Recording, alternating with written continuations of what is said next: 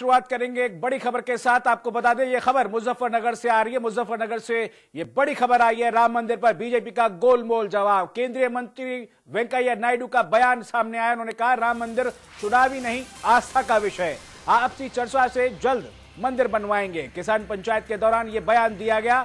Bharatiya Janata party ने mission 2017 की तैयारियाँ शुरू कर दी हैं, जिसके चलते मुजफ्फरनगर में बीजेपी ने किसान पंचायत का आयोजन किया है, जिसमें केंद्रीय मंत्री वेंकैया नायडू सहित कई मंत्री अपनी सरकार की उपलब्धियाँ गिनाने मुजफ्फरनगर पहुँचे, जहाँ उन्होंने मीडिया से रूबरू होते हुए अपनी सरकार के दो साल की उपलब्धियाँ गिनाई। साथ ही राम मंदिर के बारे में बोलते हुए कहा कि राम मंदिर आस्था का विषय है, ये कोई चुनावी मुद्दा नहीं है। ये आपसी मुद्दा है, आपस में चर्चा करके रास्ता निकालने और मंदिर बनाने का प्रयास करेंगे। तो आपको बता दें, ये बड़ी खबर आ रही है मुजफ्फरनगर में। राम मंदिर पर गोलमोल जवाब देते हुए केंद्रीय मंत्री वेंकैया नायडू का एक बयान सामने आया, जिसमें उन्होंने कहा कि राम मंदिर का मुद्दा, चुनावी मुद्दा नहीं है, आस्था का मुद्दा है।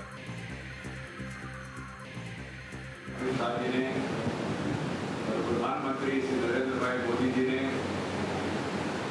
मिलकर तैयार किया हमारा सरकार आके दो साल पूरा है इसलिए देश भर में कम से कम दो सौ इलाकों में सभी मुख्य नेता, मंत्री, पार्टी का पदाधिकारी, जाके वहाँ लोगों को सामने हमारा सरकार का कामकाज के बारे में एक रिपोर्ट देना चाहिए। जनता को बताना चाहिए, हमने ये वादा किया, इसमें इतना कर पाया दो साल में।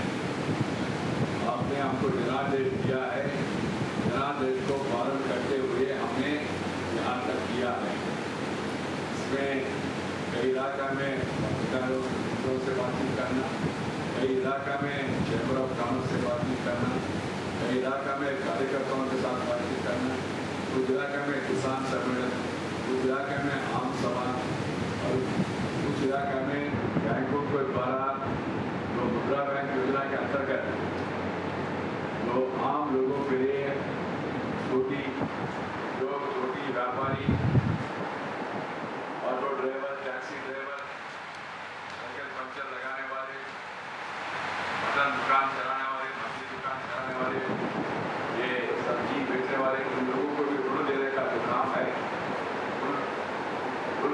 तहसीलदार और लोगों ने साथ ही मिलना चाहिए, उनका अनुभव करना चाहिए, ऐसा कार्यक्रम किया है।